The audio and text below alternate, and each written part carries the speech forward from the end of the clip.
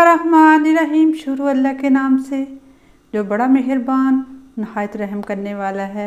अस्सलाम वालेकुम वीवर्स कैसे हैं आप? जहाँ भी रहें, खुश रहें, आबाद रहें। मैं हूँ उज़मा और आप देख रहे हैं उज़मा फ़ूड डायरीज। आज जो मैं रेसिपी बनाऊँगी, वो है मलाई चिकन टिक्का पॉकेट्स। सबसे पहले ये आधा किलो चिकन है, जो मैंने छोटी छोटी बोटियों में कर लिया था। ये टू टेबल स्पून बलाई है, ये घर की है।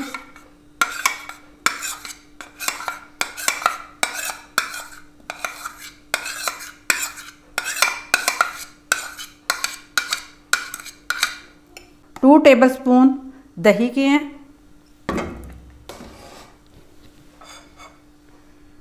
ये एक टीस्पून ज़ीरे की है, एक टीस्पून काली मिर्चों की है हाफ़ टी स्पून नमक की है और ये तिक्का मसाला है। एक टेबल स्पून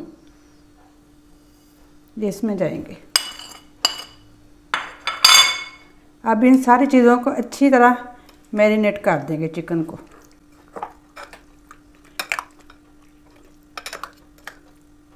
अगर अच्छा मज़ा लेना चाहते हैं तो फिर आप इसको ओवरनाइट भी रख सकते हैं। अगर जल्दी जल्दी बनाना हो तो ए, एक दो घंटे रख के तो आप इसको कुक कर सकते हैं। मैं इसको ओवरनाइट रखूँगी। अच्छी तरह जिसमें, इसमें मसाला रच जाए तो फिर मैं इसको बनाऊँगी।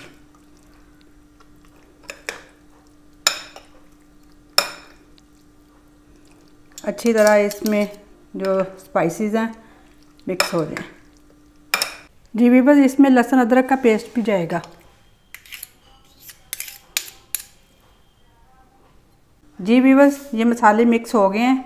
अब मैं इसको ओवरनाइट फ्रिज में रख दूँगी। जी, मैंने इसको ओवरनाइट रखा था, अब मैं इसे कुक करूँगी। इसमें मैं अब दो टेबल स्पून कुकिंग ऑयल के डालूँगी।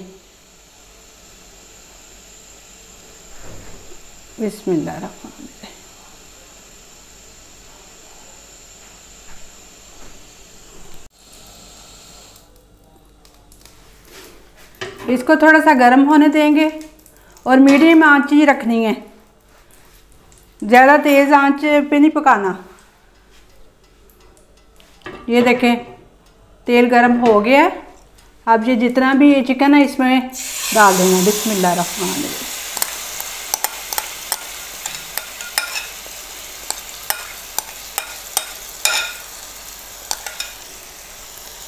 अब इसको अच्छी तरह फैला लेना है।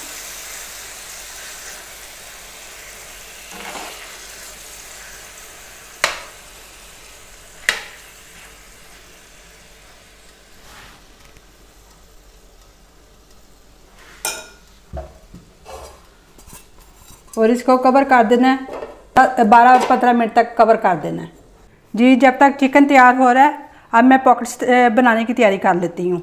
ये मैंने ये ना लिए हैं, चार अदद स्लाइस लिए हैं। अब इसके ना ये तेज़ से नाइफ ले लेनी है और इसके साथ हल्के हल्के से किनारे कट कर लेने हैं। बिस्मिल्लाह रहमान रहीम।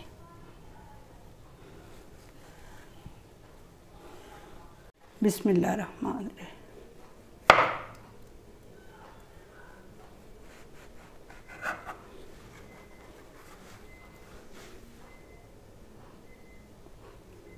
इसकी फाइन जो है कटिंग करनी है। अब इधर से भी चारों तरफ़ से इसकी अच्छी तरह फाइन कटिंग कर लेनी है। और ये जो बचे हैं हिस्सा, इसे ज़ाया नहीं करना, इसे आप ब्रेड क्रम बना सकते हैं। अब ये दो दो स्लाइस उठा के इसको बेलने, चकलने से बेलूँगी मैं, और इसकी फिर कटिंग करूँगी मैं। अब ये ये बेलना ले लेना है। इसके साथ इसको दूसरे को इधर कर लेना है। बिस्मिल्लाह रहमान ऐसे करके इसकी, इसको दबा के, इसकी ऐसे करके। जी, मैंने इसको बेल लिया इस तरह का एक डब्बा ले लें कटिंग के लिए। या कोई कटिंग मिलते हैं बाज़ार से भी, वो भी आप ले सकते हैं। अगर वो आसानी से नहीं है तो घर में जो भी ये इस तरह का कोई हो बोल सा वो लेके इसको ऊपर रख के इसके ऐसे करके इसको अच्छी तरह दबाना है।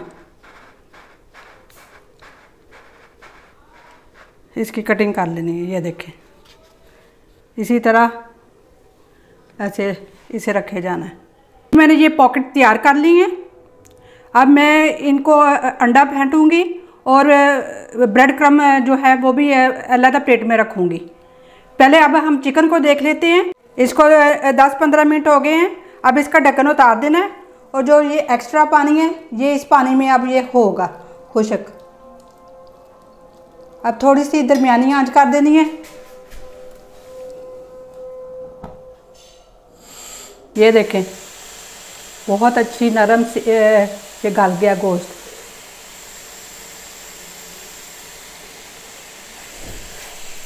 बस इसे जल्दी जल्दी चम्मच हिला देना कि नीचे ना लगे।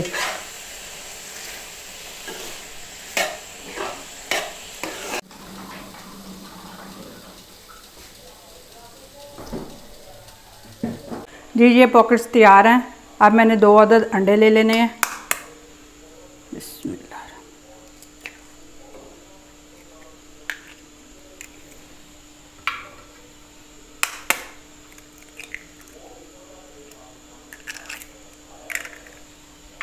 इसको अच्छी तरह बीट कर लेना। है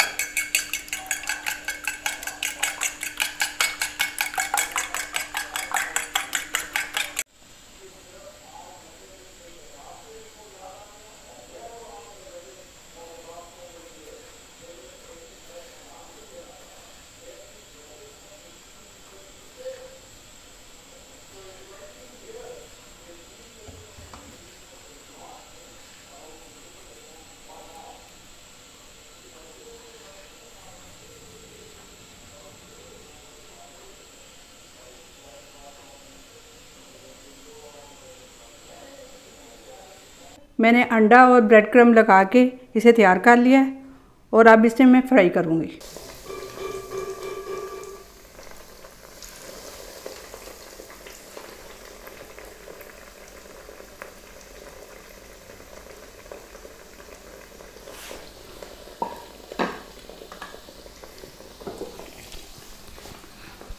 ये मैंने सारी पॉकेट्स बना ली हैं।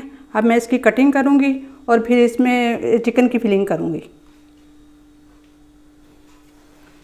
ये मैंने, ये एक काटी थी, ये देखें। ये पॉकेट्स बन गई है। एक एक पॉकेट्स को उठाऊँगी और ये मैंने थोड़ी सी है ना बंद गोभी और म्यूनिस डाल के इसे मिक्स किया है। आप अगर चाहें तो इसमें इसकी है ना दही की चटनी, सब्ज़ चटनी बना के भी वो लगा सकते हैं। ये थोड़ी थोड़ी चम्मच के साथ उठानी है। एक साइड पे ऐसे डाल देनी है।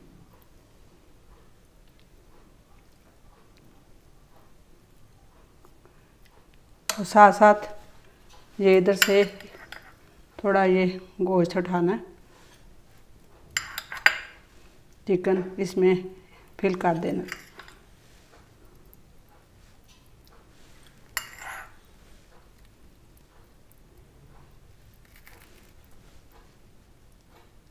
जी भी बस ये है मेरी रेसिपी की फ़ाइनल लुक बहुत मज़े की और ज़ायकेदार है।